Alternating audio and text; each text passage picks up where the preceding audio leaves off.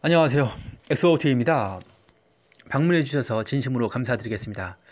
어, 일본이 정말 최악의로 가겠습니다. 홋카이도까지 또 지금 계속해서 최근에 지진이 나고 있습니다. 어지러워진 상황 지금 어, 그 간도 지방 말고도 지금 도호쿠라든지 큐슈 말고도 지금 홋카이도까지 계속해서 지금 요동을 치고 있습니다. 홋카이도의 지금 네무로에서 네무로 반도 남동 쪽에서 지금 4.5에 4.5의 강진이 발생을 하였습니다. 아, 제가 어제 그 말씀드렸듯이 그 동일본 대지진 바로 전 지진이 4.2 두 개하고 4.5였지 않습니까? 4.5 강진입니다. 바로 9점대 찍을 수 있는 겁니다. 지금 네모로 반도 동, 남동쪽인데 어, 저기 그 홋카이도의 그 일본의 그 최동단 네모로는 여러 번 얘기했지만 그저 그 홋카이도의 아바시리에서 5월 1일이었죠. 그때 3.2 지진이 있었습니다. 아바시리에서 그 이후로 지금 홋카이도 또 아오모리하고 홋카이도 지금 4일 만에 지진이 났습니다. 아오모리 같은 경우도 4월 30일 날 있었죠. 이 아오모리 같은 저는 이제 그 아오모리와 홋카이도를 같이 영향 같은 영향 영향권 안에서 보고 있습니다. 지금 이 아, 홋카이도 같은 경우는 노마리 원전 말씀드렸죠. 30년간 삼중수소를 축소 배출 숙소 보고를 하는 그런 안, 안 좋은 행동을 한 그런 도, 도마리 원전이 지금 있고 아 그 다음에 그 아오모리 같은 경우는 이 로카쇼무라 로카쇼무라 원전 핵 재처리 시설이요. 지금 제가 이 홋카이도를 항상 얘기할 때는 이 물론 홋카이도에서의 그 말씀드렸던 이불이 동부 지진도 있습니다. 2018년 9월 6일 날 발생했던 그 규모 6.7의 홋카이도에 이불이 동, 동부 지진도 있고요. 그, 이, 그때 당시에 사망자가 41명이었고, 부상자가 681명이었습니다. 홋카이도에서 그리고 홋카이도 해상 서쪽하고 그 다음에 아키타에서 났을 때 대한민국에 동해안은 강원도 쪽을 쳐가지고 피해를 줬던 적도 있었고 그래서 홋카이도는 상당히 저는 어, 중요한 생각을 하고 또 이 쿠릴 열도와 캄차카 반도 또 이 직접 알류산 열도하고도 영향을 직접적으로 받을 수 있는 홋카이도이기 때문에 이제 굉장히 좀 중요하게 생각을 하고서 보고 있는데 지금 계속해서 지금 홋카이도에서 지금 지진이 나고 있는 안타까운 상황을 두고 있습니다. 이 홋카이도 같은 경우는 이렇게 계속 지진이 날 경우에는 언제 이게 크게 정말 폭발할지 모르는 상황입니다. 지금 이 홋카이도 같은 경우는 아, 우선은 첫 번째로 얘기해서 대한민국에 아, 직접 어, 동해안을 칠 수 있는 부분이 있고 또 두 번째로는 또 뭐가 있냐면 홋카이도 같은 경우는 이 로카쇼무라 핵처리 어, 핵 재처리 공장인 아오모리 아오모리는 어, 홋카이도는 아니지만 저는 하나로 보고 있습니다. 그 같은 boundary 내에서요. 그 다음에 이 홋카이도의 도마리 원전이라든지 지금 그 아, 시즈오카에서도 지진이 있고 도카라, 뭐 미야기, 후쿠시마 계속 지금 나고 있지 않습니까? 그다음에 뭐 큐슈, 구마모토에서 나고 있고 지금 그 일본의 원전을 좀 한번 걱정 체크를 이 상태에서 해봐야 된다고 생각해요. 지금 그 큐슈 구마모토 도카라에서 강진이 나가지고 이제 그 큐슈 구마모토에서 강진이 더 크게 터질 경우에는 이 아, 그 북동진 할 경우에는 이게 시코쿠 섬을 건들 수가 있습니다. 시코쿠 섬을 건들 경우는 시코쿠 같은 경우는 난카이 트러프가 있죠. 그러면은 이 시코쿠의 이 난카이 트러프는 이카타 원전이 있습니다. 이카타 원전을 정말 바로 칠 경우에는 뭐 어마어마한 피해가 있는데 대한민국에 큰 피해가 올 수밖에 없습니다. 이 시코쿠 정도의 거리라면은 대한민국에 피해가 올 수가 있습니다. 계속 이렇게 될 경우는 또 화산 폭발도 염려가 되고요. 지금 계속 지금 지진이 나고 있는데 독가라 벌써 한 뭐 700번 가까이 되고 있죠.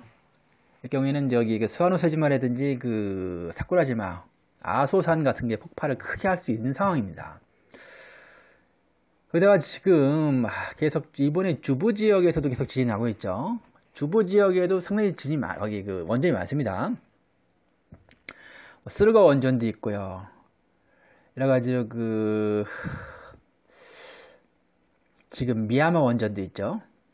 오이 원전. 지금 하여튼 일본 전역에는 지금 굉장히 많은 원전들이 있습니다. 이 원전들을 지금 그 시조가에서 그 5월 4일 날 났지 않습니까? 현, 이 시조가는 동부에서 그 규모가 2.0이었죠. 어제 저녁 7시 27분이었는데.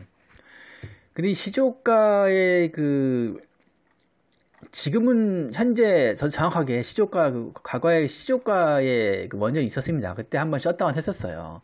그때 그 그게 하마오카 원전이 있었는데 그 셧다운을 했는데 지금도 운영이 되는지 뭐 하여튼 시조가는 바로 도쿄하고 가깝고 그 후지산이 있다는 얘기죠. 굉장히 위험한 곳입니다. 그래서 일본은 전체적으로 지금 원전을 계속 해가지고 이렇게 움직이 어, 지금 이렇게 심각한 지진 상황에서 후쿠이에는 계속 지진이 나고 있는데 굉장히 후쿠이 대지진 말씀 여러 번 드렸죠. 근데 이 후쿠이현의 스루가하고 미야마 그 다음에 아, 에이메현의 이카타 굉장히 지금 그 이 어떤 대폭발이 일어날지 모르는데 그 다음에 문제된 건 뭐냐면 이, 이 대부분의 대한 이 그 일본의 원전들이 활단층 위에 있다는 겁니다.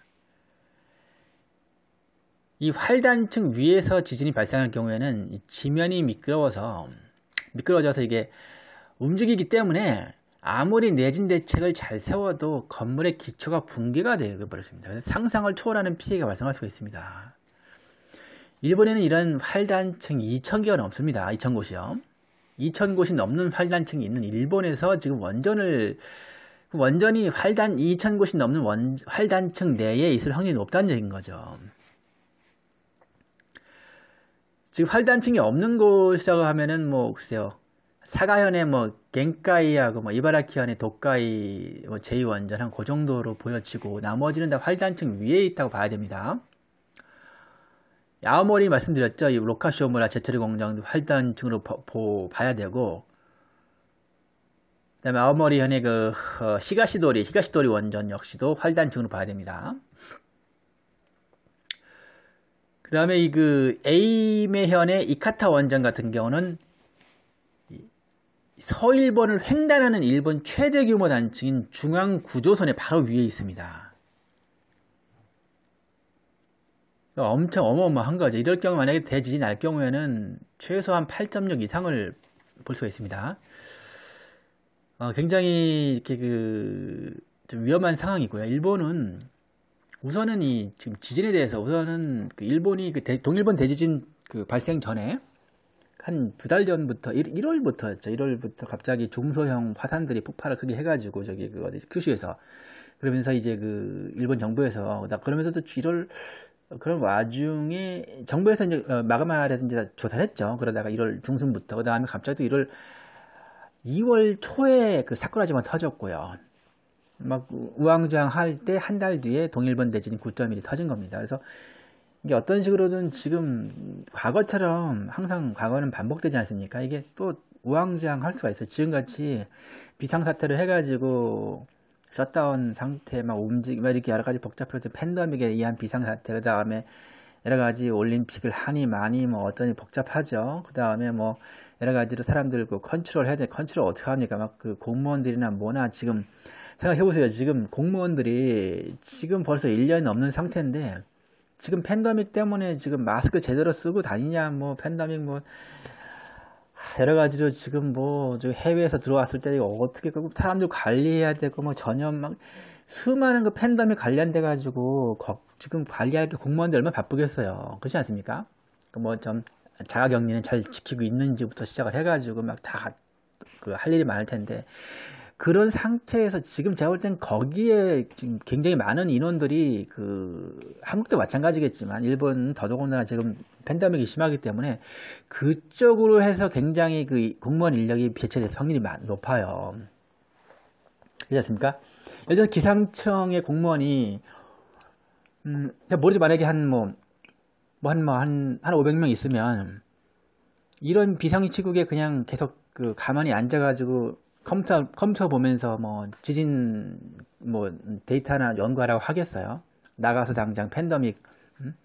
관련돼 가지고 좀 사람들 좀 이렇게 개도 좀 하고 좀 이렇게 자, 뭐 자가 자가격리 하는 사람들 제대로 하거든요. 보고 도와주고 막 뻔한 거 아닙니까? 막 공무원들 원래 좀 그런 원래 그 공무원 사회라는 게 좀 이렇게 그런 게 좀 있으니까 그 하나의 자기의 그 업무에 여러 가지 서로 간에 그 같은 공무원 사하기 때문에 서로 도와 도와가면서 이렇게 십시일반 도움 돕는단 말입니다. 그러니까 딱 내 업무만 하는 게 아니라 이 그 좀 옆에서 좀 필요한 일이 있을 때 도와주고 막 그런 게 있다고 왜냐면은 그 공무원 사회예요. 그래서 산불이 나면은 가서 도와주기도 해야지. 뭐 만약에 내가 구청에서 일하는데 나는 뭐 소방서도 아니고 내가 왜 산불에 나가야 돼? 이건 아니라는 얘기인 거죠. 그렇지 않습니까? 당연히 또 도와주고 막 그런 일이 생길 수밖에 없어요. 공무원 사회라니. 그러면은 지금같이 막 이렇게 혼란스러운 시기에 올림픽도 있고 막 그 팬데믹도 있고 막 그런 상, 황에서 당연히 막 정신이 없고 막 서로 돕고 막 그러고 정신 뭐 바람직 그거는 바람직한 일이지만 이렇게 바람직한 일을 하는 동안에 제 얘기 뭐냐면 지진에 대해서 과연 누가 얼마나 신경을 쓰고 있겠냐 이거죠. 솔직히 그렇지 않습니까? 그렇잖아요. 지금 이렇게 지금 올림픽 당장 7월 23일이니까 오늘이 5월 5일이면 얼마 남았어요, 이제 뭐. 얼마 안 남았는데 이런 상태에서 올림픽 관련돼 가지고 준비할 게 얼마나 많겠어요. 이제 두 달 남았는데 당연히 막 그냥 얼마나 많이 준비하고 또 참길 거 많고 얼마나 많겠습니까? 이런 상황에서 지금 그 기상 뉴스나 보고 있겠습니까? 기상청에서 당연히 제가 볼 때는 기상 일본 기상청 공무원들 제가 볼 때 한 공무원 분들 중에 반 이상은 어떤 그런 다른 어떠한 그런 support 해주는 거, 뭐 여러 가지 올림픽 관련된 거라든지 뭐 비상 비상 사태니까 아무래도 막 이렇게 지켜야 될 게 많을 거 아니에요. 그런 국민들이 잘 따라야 될 거 아니에요. 그렇지, 그렇지 않습니까? 계도도 해야 될 테고 여러 가지 막 길거리에서라든지 뭐 마스크 쓰는 거라든지 시작해서 막 여러 가지 할 일을 많겠어요. 그러면 그런 일을 하기 위해 아무래도 저에게는 지진에 대해서 신경 쓸 만한 그런 여유가 없을 거란 얘기인 거죠. 그럼 지금 현재 굉장히 지진에 대한 굉장히 정말 그 동일본 대지진의 몇 배 이상의 정말 최 일본 건국 이래로 최고의 위기인 지금 2021년에 이걸 그냥 그대로 놔둬야겠냐는 거죠. 이대로 그냥 가다가는 동일본 대지진 당시는 그래도 그나마 기상, 기상청 인력들이 좀 포커스를 맞춰가지고 7.4를 났을 때도 조사도 하고 했겠 지금 제가 볼 때는 최근에 이런 분위기에서는 제가 볼 때는 지금 지진에 대해서는 신경 못 쓸 거예요. 거의. 어떻게 지금 지진 신경 쓰고 있겠어요. 팬데믹 때문에 정신이 없을 텐데. 그래서 지금 이 일본의 이 수많은 이 활단층 위에 있는 이 수많은 원전들 폭파되면은 정말 어마어마한 진짜 일본만의 문제가 아니라 대한민국에도 영향을 줄 수가 있는 겁니다. 이런 일본의 원전들 다 폭발, 폭발돼 버리면. 그래서 걱정되는 순간이고요. 아, 그렇다 그래서 지금 뭐 이거를 뭐 참 누군가 어떤 한 사람이 나서 가지고 이거를 예를 들어서 뭐 스가 총리가 나서서 우리가 지금 지진에 대해서도 신경을 써야 된다라고 이제 좀 이렇게 좀 notice를 준다든지 기상청에서 지금 보니까 그런 것도 아니잖아요.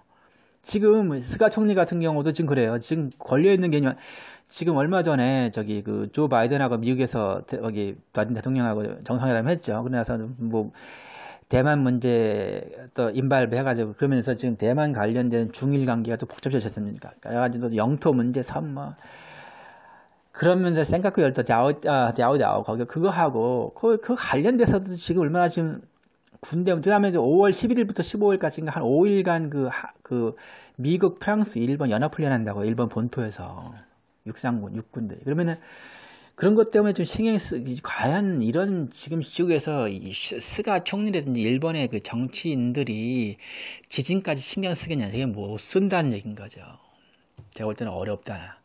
여유가 없을 것이다 라고 보는 겁니다. 그러면 동일본 대지진 당시랑 비슷해지는 거예요. 또 놓칠 거라는 얘기가 지금 이 상황에서는 중요한. 지금 일본의 원전들은 대부분 이렇게 그 활단층 위에 있기 때문에 굉장히 위험한 겁니다. 2,000곳이 넘어요. 일본의 활단, 활단층이. 정말 터지면 정말 이건 아, 대한민국도 지금 걱정입니다. 그게 다 터져 보세요. 일본 전체가 다 아예 그냥 정말 일본의 이 그, 일본에 아마 다 터지면 아마 이건 죄송한 얘기지만 생존해 있는 살아있는 게 별로 없을 겁니다. 사람을 떠나서 사람 죽는 건 당연한 거고 뭐 사람 이외의 뭐 동물들도 이렇게 살아있는 게 얼마 많지 않을 거예요. 그 정도의 큰 피해가 올 겁니다. 따라서 지금 어, 지금 이렇게 올림픽에만 신경 쓸 때가 아닙니다.